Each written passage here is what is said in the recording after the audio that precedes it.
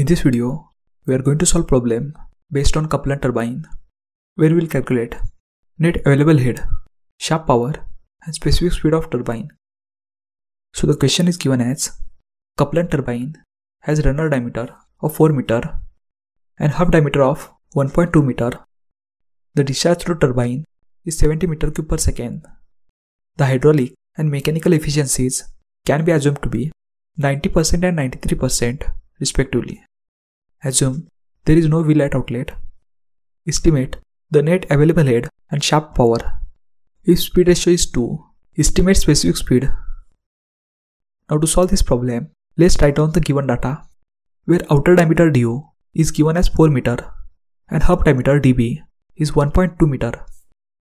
Discharge through turbine capital Q is provided as 70 meter cube per second. The mechanical efficiency is 93% that is 0.93 and hydraulic efficiency is 90% that is 0.9. Velocity of inlet outlet that is VW2 will be 0. For Kaplan turbine, tangential velocity at inlet and outlet is same that is U1 equal to U2 and velocity of flow at inlet and outlet is same that is Vf1 equal to Vf2. Speed ratio Ku equal to 2 here first we want to calculate net head capital H.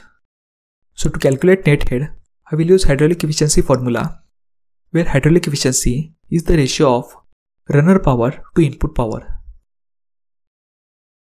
For Kaplan turbine, the absolute velocity of water at outlet of runner denoted as V2 is equal to velocity of flow at inlet and outlet.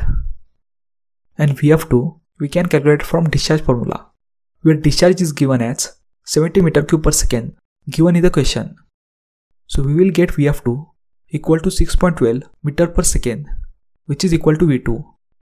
So I'll substitute this value in hydraulic efficiency formula as small g is 9.81. So by calculating this, we will get net head capital H equal to 19.09 meter. Next we want to calculate shaft power and it can be calculated from overall efficiency formula because overall efficiency is the multiplication of hydraulic and mechanical efficiency. And in question the hydraulic efficiency is given as 0.9 and mechanical efficiency is given as 0.93 and overall efficiency is given by shaft power upon input power.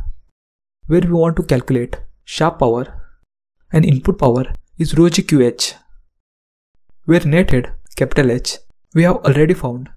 And discharge Q is 70 and density of water is 1000 that is rho and small g is 9.81. So by calculating this, we will get shaft power equal to 10,972.3 kilowatt.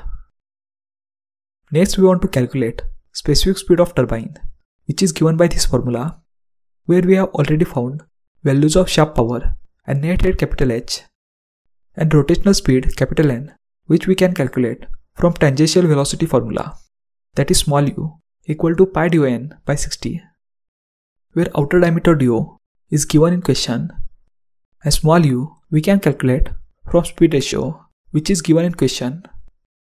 Therefore, speed ratio equal to small u divided by under root 2 gh. Therefore, we will calculate small u as 38.71 meter per second. Now from this calculated value of small u, we will get rotational speed of turbine capital N equal to 184.83 rpm. Now I'll put calculated value of capital N in specific speed formula and I'll calculate specific speed of turbine as 485.2.